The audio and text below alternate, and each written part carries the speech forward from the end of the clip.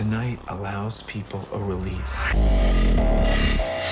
for all the hatred and violence that they keep up inside them. Why don't you go into the church to marry them?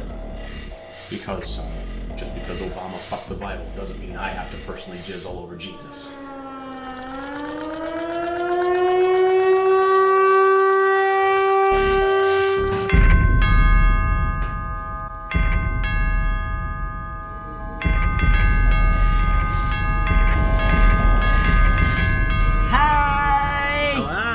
Guess who's getting married? Can you not pop those poppers, please? We have a ceremony to go to later. It's serious. God, I'm just.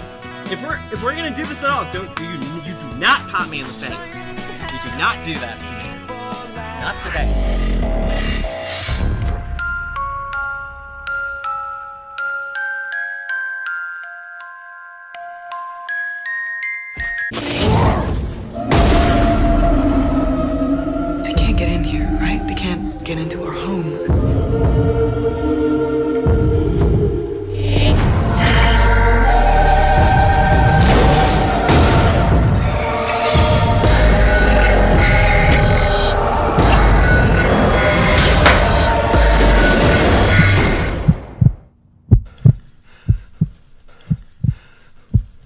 Everything's gonna be okay.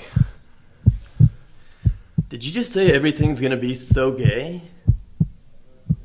What?